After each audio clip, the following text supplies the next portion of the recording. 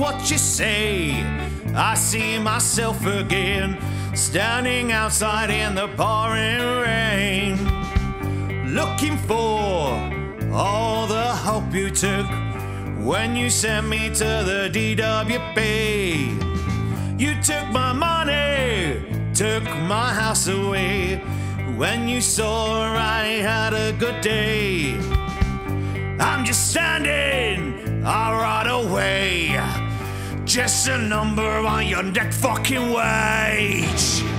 They say I'm a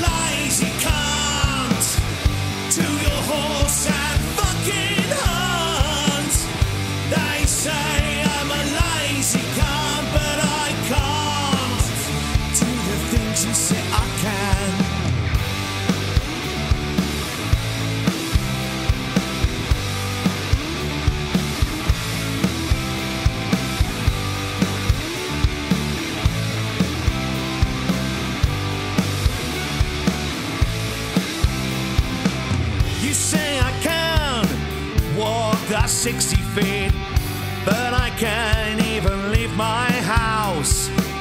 Even with cancer, you turn your head away as if I knew just what to do.